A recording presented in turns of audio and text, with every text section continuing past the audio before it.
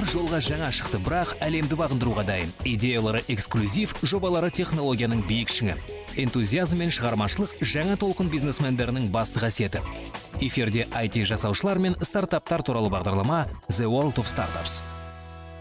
Здравствуйте. сәлеметсіздер ме? Бұл IT және бизнес саласындағы ең жаңа да қызықты идеяларды саралайтын The World of Startups бағдарламасы. Сіздермен бірге мен серік ақышев. Бүгін көретіндеріңіз.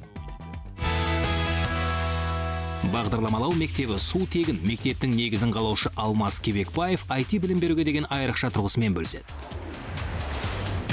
Заттар интернеті 2014 жылдың басты трендтерінің бірі. IT технологиялардың осы саласының дамуынан не болады? Мобильдік құрылғылардағы электронды үкімет енді бұрынғыдан да ыңғайлы бола түсті. Бүгінде бағдарламалаушы мамандығы қазақстанда ең қажетті және мүмкіндігі зор мамандықтардың бірі болып отыр. Оқушылар мен талапкерлердің көбі өз болашағын дәл осы мамандықпен байланыстыруда. Бағдарламалау әліппесін үйренгісі келетіндерге арналған курстар мен оқу бағдарламалары жетіп артылады. Бүгінгі репортажымыз алматыда жақында ашылған бағдарламалау мектебі туралы болмақ. Оның басты ерекшелігі курсқа тегін қатысуға болатындығында. Ньюс айдары.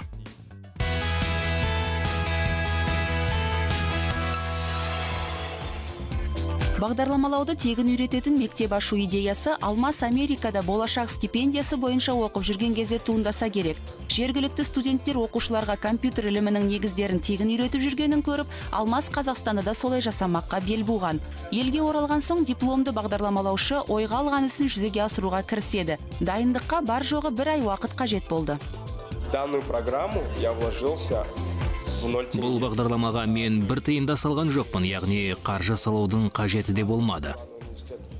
Туран университеті өткізетін орын ұсынды самсунг сыйлықтармен қамтамасыз етті. Қағаз қаламдарды мемлекеттік департамент берді. Какие-то вещи, как тетрадки, бумажки. төрт апталық курсқа қатысуға жүзге тарта өтінім келіп түскен. Әрбір төртіншісі өтті. Іріктеудің басты шарты талапкер 8-ші 10-шы сыныптардың оқушысы болуы тиіс. Алмас балаларды Python тілінде бағдарламалауға үйретпекші. Іріктеуден өткен оқушылар қуанышын жасырмады. Мен оқуымды шетелде IT технология мамандығы бойынша жалғастырғым келеді. Сондықтан IT курстарын таңдадым. Өзіме керек болғандықтан осында келдім. Өйткені келешекте керек болады деп шештім. Бұл курс туралы кездейсоқ білдім. Бірақ меніңше бұл қазір өте қызықты да өзекті тақырып.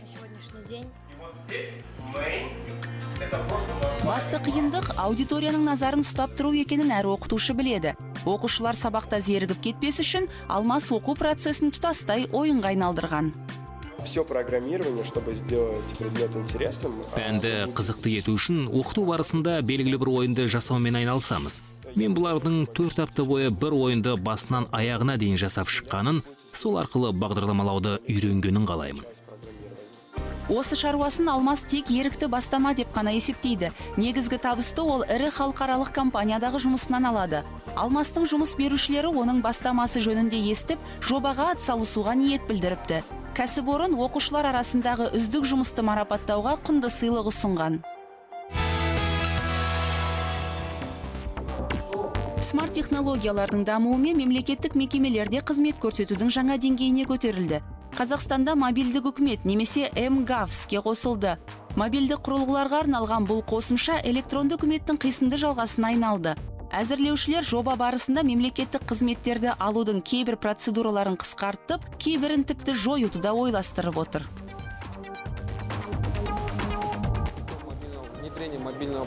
Мобильдік үкімет қолданыла бастаған соң қажетсіз анықтамалар азаяды. Мысалы мекенжай анықтамасын сотталмағаны туралы анықтаманы басып шығарып алып жүрудің қажеті болмайды. Ендігі жерде азамат мобильдік телефон арқылы сұраным жіберіп жауабын алып қажет болғанда соны өзге мемлекеттік мекемеге немесе ұйымға көрсете алады. Қазір қосымшада мемлекеттік қызметтердің 13 түрі ұсынылған. 2015 жылға қарай 50-ге жетеді деп күтіліп отыр. Уақыт өте келе электронды үкіметтің сайтында алуға болатын қызметтердің бәрі мобильдік платформаға көшірілмек. Қосымшаның өзі биылғы жылдың аяғына дейін іске қосылады. Сондай ақ мемлекеттік қызметтерді смс бір реттік құпия сөздер көмегімен кәдімгі телефон арқылы да алуға болады. Жобаның алдына қойылған негізгі мақсаттар электронды мемлекеттік сервистерді қолданушылар санын арттыру және процедураларды барынша жеңілдету. Қазақстандықтар смартфон және планшет көмегімен сим картаға байланған электронды цифрлік қолтаңба қоя алады. Қазақ және орыс тілдеріндегі қосымша iOS және Android базалық құрылғыларға арналып жасалуда.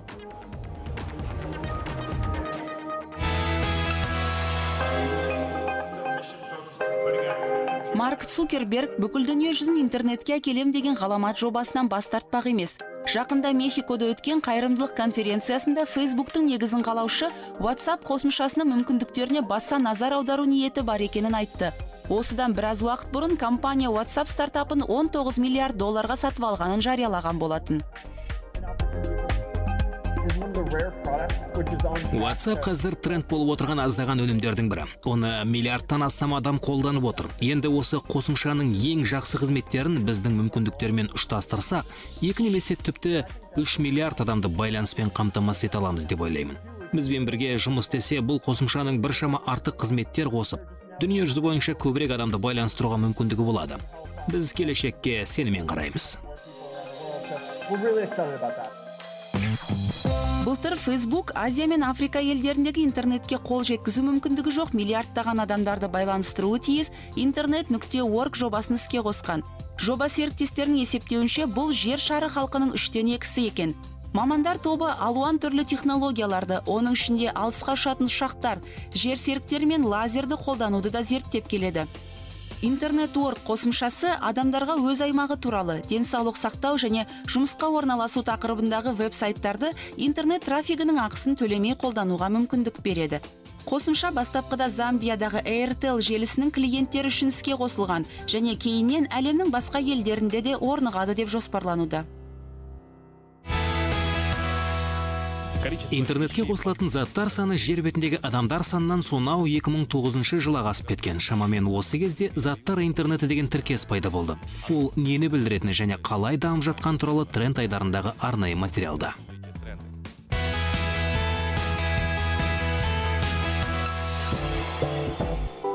Заттар интернеті деген біздің айналамыздағы нысандарды байланыстыратын компьютерлік желі. Бұл нысандар көлік пен үстіңіздегі киімдер тоңазытқыш пен тіс щеткасы болуы мүмкін. Яғни кез келген зат сымсыз желіге қосыла алады. Бүгінде интернетке 10 миллиардтан астам құрылғы қосылған. 2020 жылы олардың саны 50-60 миллиардтан асады деп болжам жасалып отыр. Оған сай техникалық мүмкіндіктер қазірдің өзінде бар. Британиялық IRM Holdings 1 миллиметрде 2 миллиметр өлшемді және энергияны өте аз тұтынып кез келген затты интернетке қоса алатын микрочип жасап шығарыпты. Ал супермеканикал стартапы кез келген затты желіге қосып оған смс хабарлама электронды хаттар және твиттер жіберуді үйрете алатын twine сымсыз модулін жасады. Қазіргі таңда заттар интернетті бәрін қамтыған интернетке ұласып барады. Ол тек жансыз заттарды ғана емес адамдарды процестер мен деректерді де біріктіріп отыр. Жүздеген миллиард триллион майда құрылғыларды байланыстыру үшін сұранымға лезде жауап беріп қана қоймай құрылғыларды адамсыз ақ бақылап қадағалап қосып ажыратып отыруға қабілетті автоматты желі керек. Бағдарламамен анықталатын желілер жаңа буын интернетін құруға негіз болмақ.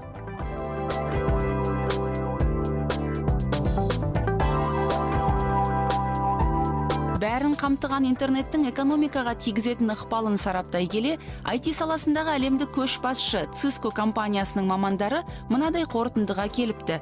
Алдағы 10 жыл ішінде бәрін қамтыған интернет бүкіл дүние жүзіндегі жеке бизнеске 14,5 триллион доллар экономикалық пайда әкелуі мүмкін екен. Сіздер The World of Startups бағдарламасын көрдіңіздер. Бүгін қазақстан стартаптар нарығындағы жаңалықтар мен IT индустриясындағы жаңа трендтер туралы айттық. Сіздермен бірге болған мен серік ақышев қазақ тв эфирінде жолыққанша.